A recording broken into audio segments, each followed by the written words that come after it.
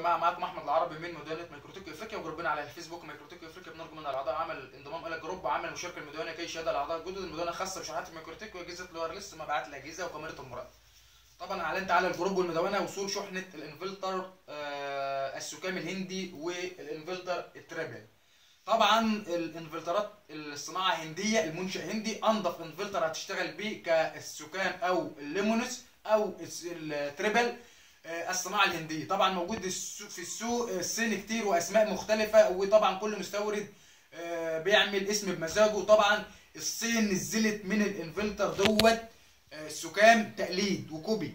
طبعا المنتج اللي عندي هو من الهند وأصلي من موقع الشركة شركة كبيرة ورائدة في المجال منذ سنوات. ال Su-Kam أو ال Triple أو ال Luminous جميع منتجات الهندية تعمل بكفاءة أداء تاني وزي ما قلت فرق ال ال ال الغالي عن الرخيص حاجات بسيطة بس إحنا أصحاب شبكات وناس عاوزين نشتغل بيه في البيوت أو المنازل كتشغيل إضاءة مكار في حالة انقطاع الكهرباء هنشغل مثلا إضاءة هنشغل مراوح هنشغل كمبيوتر هنشغل تلفزيون هنشغل لاب نشحن موبايلاتنا يبقى نشتغل بمنتج كويس علشان يكون خارجي الكهرباء 220 فولت مظبوط ويكون الشحن بتنجر داخلي غير الصيني. الصيني فيه أجهزة لازم تشتري لها تنجر سريع أو تنجر بطيء في الشحن وفيه مشاكل كتيرة جدا جدا. طبعا الانفلتر بيركب على بطاريات خارجية مش داخلية. طبعا في انفلترات موجودة بتركب أو بتيجي جاهزة فيها بطاريات داخلية بس الانفلترات ديت آخرها يا جماعة ساعة أو اتنين. لا الانفلترات ديت لو بتشغل عليها طبعا زي ما قلت الانفلتر في واحد مثلا بيسألني يا عم أحمد الانفلتر ده بيقعد كام ساعة؟ أو بيشغل إيه؟ طبعا إحنا لازم فيها حسبة إن اللمبة بتاخد كام واط وال switch بيشتغل بيسحب كام واط أو المحول بتاعه كام واط ال NanoStation كام واط ال RouterBoard بس كأصحاب شبكات الانفلتر ده يقضي بالغرض ويشغل حاجات كتير. يعني ممكن لو عندك 30 راوتر يشغلهم. 30 router TE Data Link أي راوتر من العادية يشغلهم. مع switch ات مع دمج RouterBoard مع رواتر لو 1100 أو case ات. ماشي؟ لأن مفيش عليهم حاجات كلها خفيفة وما بتسحبش. وطبعا بيقعد كام يوم أو بيقعد فترة قد إيه بترجع كلها على حسب الجهد الخارج الخارج من الجهاز وحسب الفولت الأمبير آسف الأمبير بتاع البطارية. يعني مش هتجيب بطارية مثلا 40 أمبير زي 80 زي 100 زي 150 زي 200 أمبير زي 250 أمبير. طبعا كل أمبير بيختلف وكل ما البطارية تكبر كل ما بسعرها بيغلى والبطاريات المنتشرة أو في السوق موجود عندك البطاريات السعودي سعرها يبدا من 350 400 جنيه في بطاريات منها مستعملة ب 150 جنيه أو ب 100 جنيه. طبعا في بطاريات جافة وبطاريات مية. طبعا ممكن تروح لأي بتاع بطارية شغال فيها هو ينصحك. البطاريات المنتشرة هو الاسم العلمي بتاعها deep cycle وهي البطاريات أو الاسم المنتشر اللي هي اسمها بطارية طيارة. بطارية بتكون رفيعة ومستطيلة وطويلة ويمكن شرحت قبل من كده وأعلنت بصور عليها بصور عنها على ال group والمدونة. طبعا ال inverter ال Su-Kam يا جماعة آه قلنا بيقابل مشاكل كتير جدا جدا. أصحاب الشبكات الناس اللي ناقلة والناس اللي الراوتر كل شوية بتفصل واللي عاوز ينام وهو باله مستريح مفيش دوشة دمج يسحب 100 100 وعدم آه رجوع التيار الكهربائي مفاجئ على بعض ال power ات أو NanoStation والكلام ده بيبدأ يضرب لأن أو بيضرب power أو بيحصل تهنيجة من إن الكهرباء بتقطع وبتيجي فجأة زيادة عن ال 220 طبعا قلت ال inverter ال Su-Kam في stabilizer داخلي مثبت تيار شحن تنجر داخلي. ما بتحتاجش إن أنت تجيب له أي حاجة من بره. نشوف الجهاز من الداخل. زي ما إحنا شايفين كده الجهاز يا جماعة بيجي اهوت وهبدأ أشرح لكم اللمبات ونشرح الجهاز ونبدأ نشرح طريقة عمل الجهاز. طبعا الجهاز هيجي معاك يا جماعة اهوت أو يجي كده تبدأ عشان تفتح الجهاز بالراحة نقلب الجهاز على الأرض اهوت نبدأ نفتح الجهاز ونقلبه اهو. أرفع الكرتونة بس كده زي ما إحنا شايفين وهبدأ أنزل الجهاز واحدة واحدة اهو. أفتح اهو وأرفع الجهاز اهوت وأبدأ أجيب الجهاز كده تمام فوق. واشيل اجيبه على جنبه مثلا. اليمين والشمال. أهو.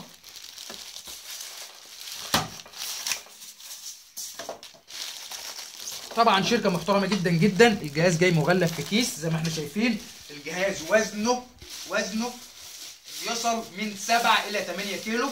طبعا ما فيش أجهزة صينية هتوصل بال بال بال بال بالتقل دوت. الترانز الداخلي بتاعه تجربة السوكه عن سنوات كويس جدا جدا.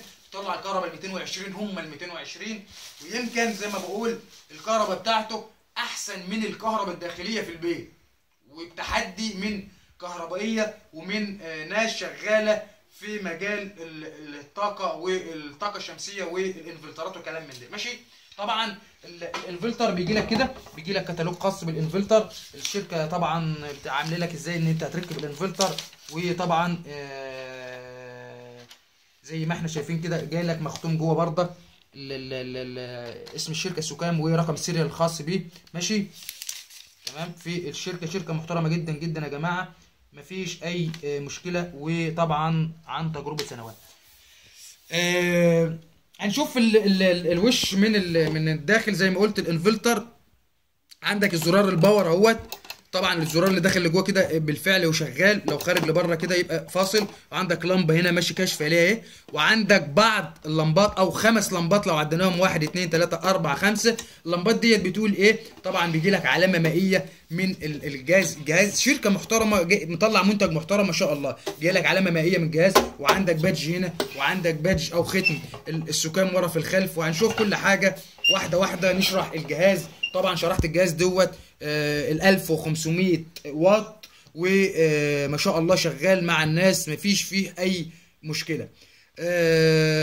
طبعا اللمبة الأولانية اللمبة الأولانية الناس تحفظ معايا كده علشان أما بشحن عليه كمية إقبال كبيرة جدا جدا في شحن جميع المحافظات في مصر وعليه إن أنت عاوزك تعرف إزاي هتركب الإنفلتر وإزاي هتشتغل على الإنفلتر. طبعا البطاريات وزنها تقيل غالية في شركات الشحن هتكلفك كتير. ممكن انت تاخد الانفلتر وتبدأ إن انت تجيب بطارية من أي بلد أو من عندك من البلد تسأل أي حد بتاع بطاريات على بطارية كويسة مستعمله أو عاوز تجيب جديدة تشتغل مفيش أي مشكلة. براحتك وقلت لك حاجة كل ما البطارية بتكون كبيرة كل ما الوقت بتاعه يقعد كتير. ماشي وزي ما قلت الرواتر والأكسسات والنانو ستيشن والكلام ده كله يعني لو بطارية كويسة ممكن أقول لك استغني عن الكهرباء الحكومية لمدة أسبوع. لمدة أسبوع. ده عن تجربة إحنا شغالين.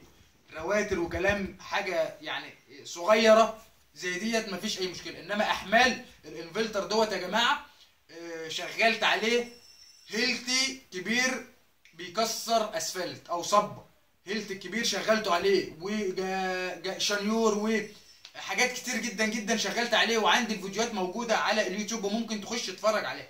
بس مش عاوز إن إحنا نقعد نجرب ونعيد. إحنا بس بنشرح الجهاز دوت لأن ال 850 بشتغل فيه بس ما شرحتوش. شرح فيديو لضيق الوقت عندي في التركيبات والكده. ماشي؟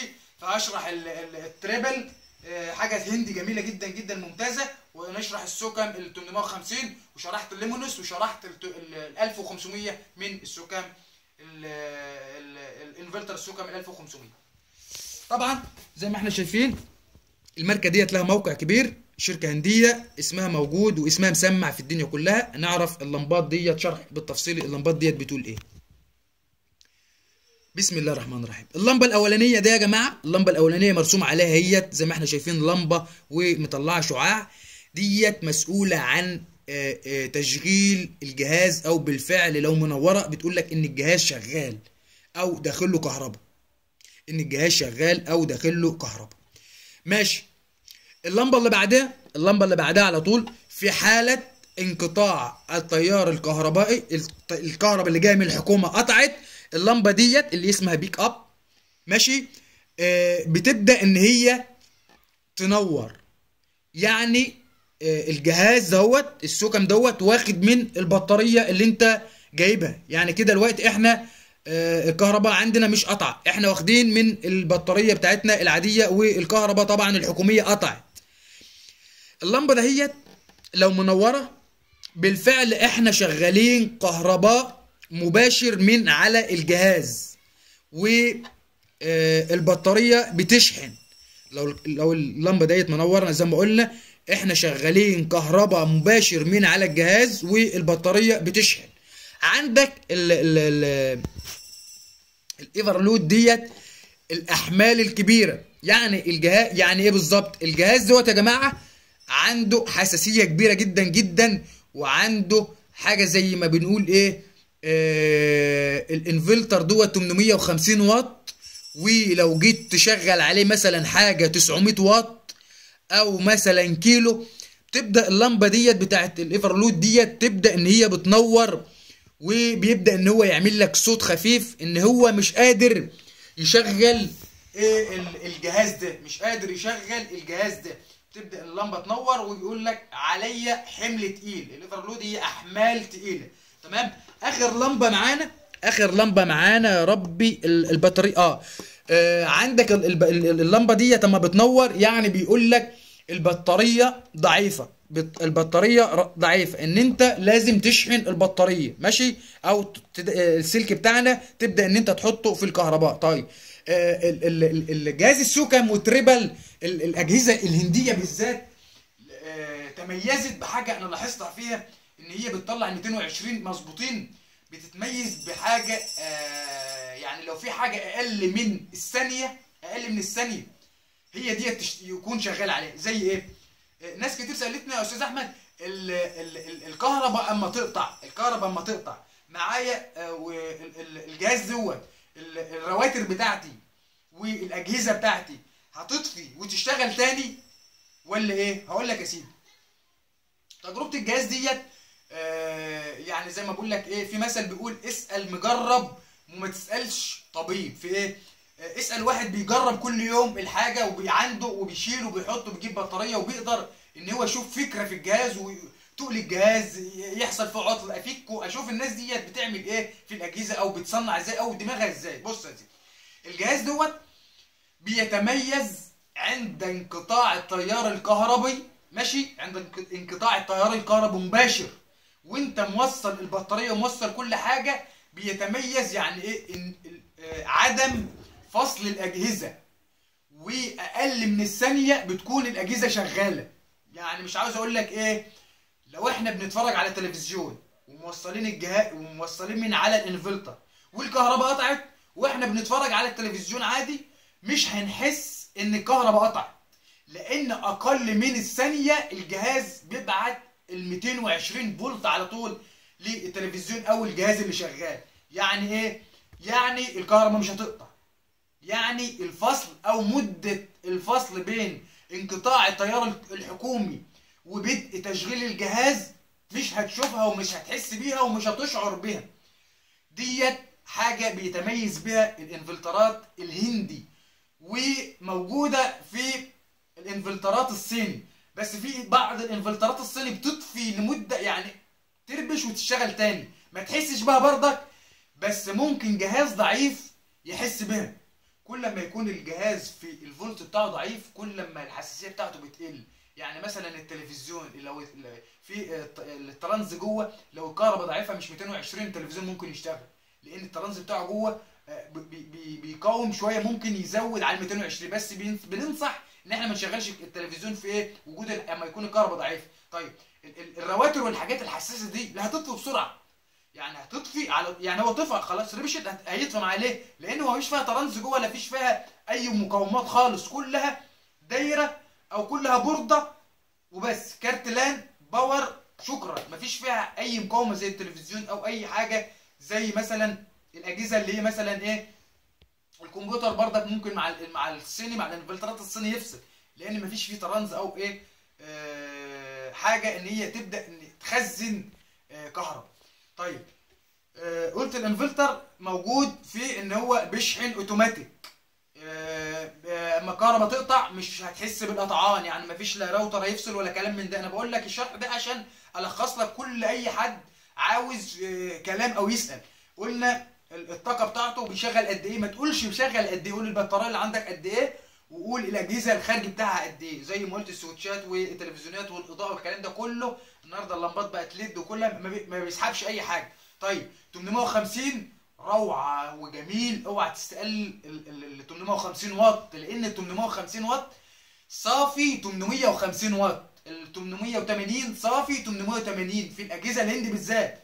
طيب الصيني لو أنت جايب كيلو هيصفي معاك على 500 تجربة فعلية مش كل الأجهزة في الصيني بس الأجهزة النظيفة في الصيني غالية. بس أنا ببعد يعني زي ما بقول إيه ببعد عن الشر وأغني له. أنا يعني إيه الصيني بقى مش مستريح له لأن هي بلد كويسة وفيها منتجات حلوة بس اقتصادية. يعني الإنفلتر تلاقي عاملين لك إنفلتر كيلو 700 جنيه. تيجي تشوف الإنفلتر من جوه وزنه مفيش في وزن شهر اتنين مع ناس يضرب يحصل فيه مشاكل غير مش عارف بورده لا مش إحنا جربنا الانفلتر سنة واثنين وثلاثه بقيت ادخل منه كميات وقلب جامد لأن مجرب. طيب إحنا قلنا الخمس لمبات دول وحفظناهم وهنعيدهم للناس تاني عشان الناس اللي هنشحن لها الشغل تفهم الانفلتر بيشتغل إزاي. وهنقول اللمبة الأولانية لمبة تشغيل الجهاز. هنقول اللمبة الثانية عند انقطاع التيار الحكومي اللمبة ديت بتشتغل وهو بياخد من البطارية. اللمبة الثالثه ديت في حالة شحن البطارية وتشغيل الجهاز أو الكهرباء العادية. إحنا شغالين على الكهرباء الحكومية العادية. اللمبة ديت اللود العالي أو الأحمال الزيادة على الجهاز. حمل كبير بيبدأ إن هو ما يشغلوش عشان ما يبدأش نعمل فيه قفلة. الآخر لمبة ديت وزي ما قلنا اللي هي بيقول لك بالفعل عاوزين نشحن البطارية أو شحن البطارية أو البطارية ضعيفة. طبعا الجهاز بيجي لك بعلامة مائية وزي ما شفنا فوق الختم كده وبيجي لك الجهاز لو شفناه من الخلف. ماشي؟ بيجي لك الجهاز زي ما, شا... ما إحنا شايفين اهوت بيجي لك كابلين موجب وسالب. يجي لك الموجب والسالب طبعا نتأكد اهوت عندك السالب اهوت وعندك الموجب. نتأكد طبعا هو بيقول لك اهو البطارية اللي هتشتغل 12 فولت وكاتب لك كل حاجة. آه ماشي؟ آه طبعا عندك مرو... مروحه تبريد. عندك مروحه تبريد وعندك الفيشة الثلاثية اللي هي بتيجي من الخليج. طبعا إحنا في مصر آه الفيش بتاعتنا كلها ثنائية. آه عندك السلك ده اهو. السلك اللي إحنا شايفينه ده يا جماعة السلك اللي إحنا شايفينه دوت السلك اللي إحنا شايفينه ده عندك هنا اهوت بتاع المسمار اللي أنا فتحته أو البلاستيكية اللي أنا فتحتها ديت الفيوز. عندك الفيوز دي بتتباع عند بتوع السيارات وموجودة. ليه؟ لو أي مشكلة حصلت في الجهاز طبعا شركة محترمة بيبدأ إن هو يضرب الفيوز ما يعملش أي مشاكل في الداخل.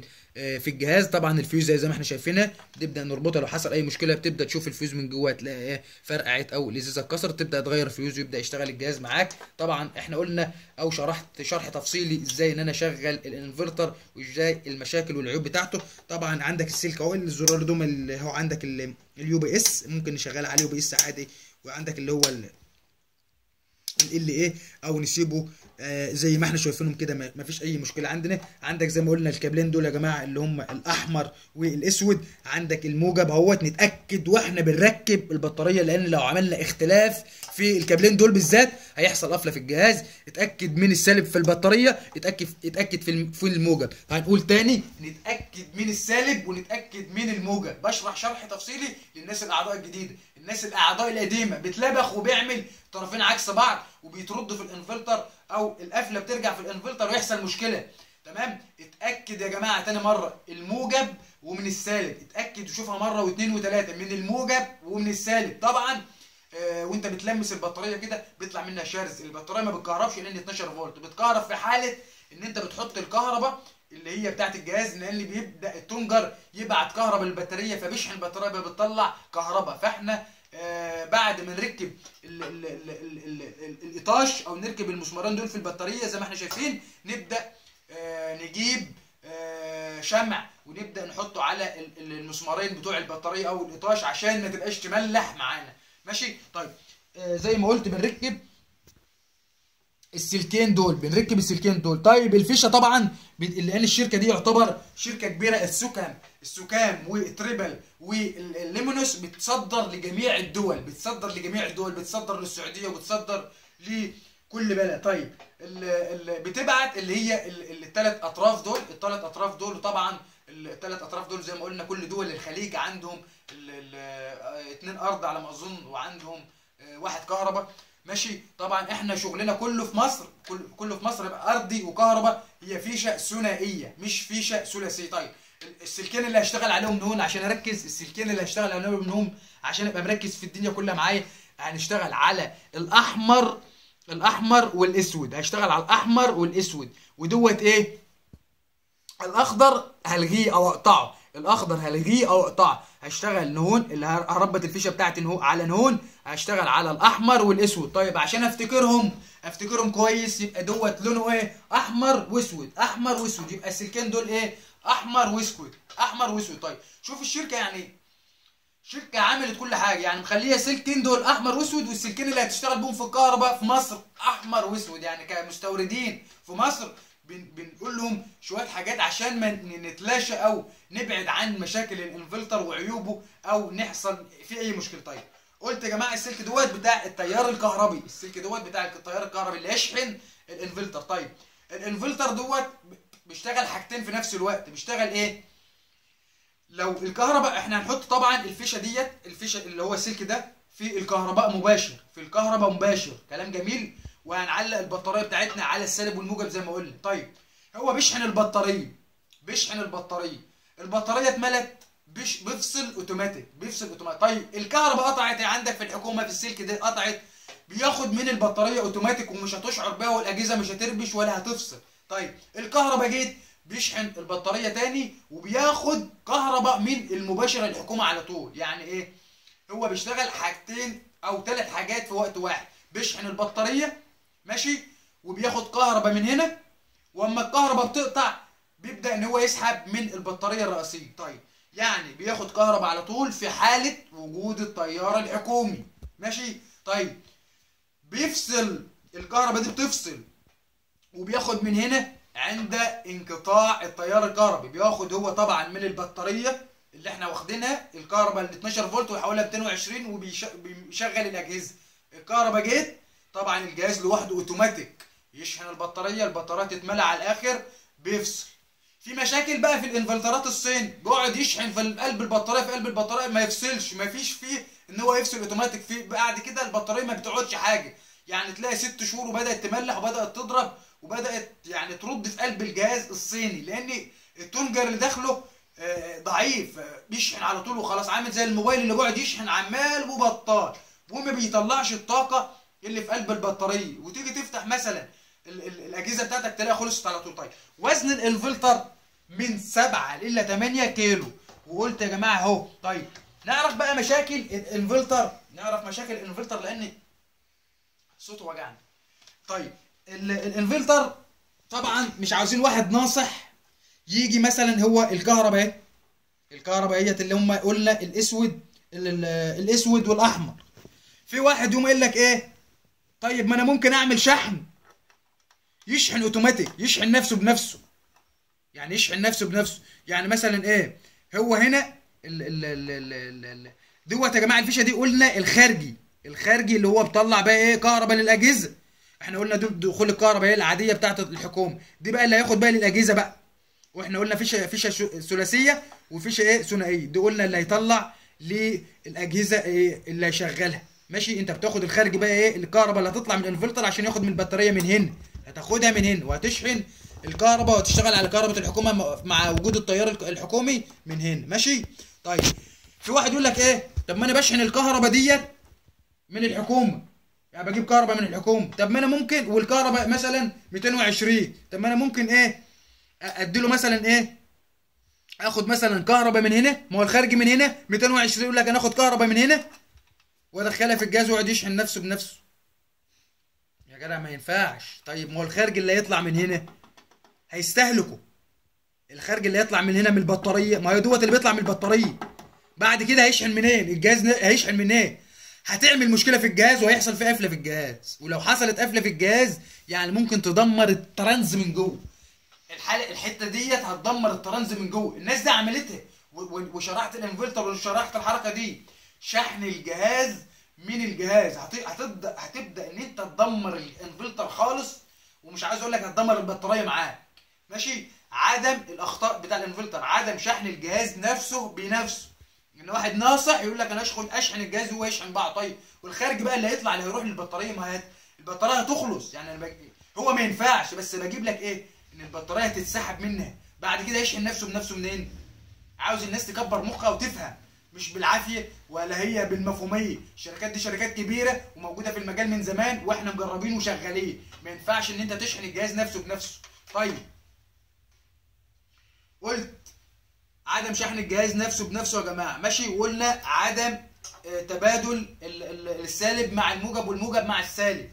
آه، يمكن كده شحن آه، شرحت الإنفلتر شرح تفصيلي الإنفلتر السكان. قلنا الانفلتر السكان ش- شرحناه شرح تفصيلي وقلنا الانفلتر كويس جدا جدا وما شاء الله عليه إقبال شحن وتريح دماغك من الفصلان والتشغيل وكل حاجة. كل اللي هتجيبه هتجيبه بطارية. وقلت الناس اللي عايزة تشتغل في الانفرترات تجيب انفرترات بطاريات خارجية لطول مدة التشغيل. تجيب بطاريات كبيرة برة لطول مدة التشغيل. اوعى تجيب انفرتر بطاريته داخل داخلية. يعني الانفرتر تلاقي بطاريته صغيرة تلاقي بطاريته أكبر. قد بتاعه الموتوسيكل اللي هي الصغيرة اللي هي ال 12 فولت اللي هي مش اللي هي الصغير. قد كفة إيدك كده. فمش هتنفع معاك وهتخلص بسرعة الوقت بتاعها وهيقرفك وهيحصل مشاكل بعد كده. ناس جابت الانفرترات دي واضطرت إن إحنا ناخدها ونعدلها ببطاريات خارجية وصرف عليه يمكن آه، نص تمن عشان نعدل له ونجيب له بطارية خارجية وشغلانة. أشكركم والسلام عليكم ورحمة الله وبركاته.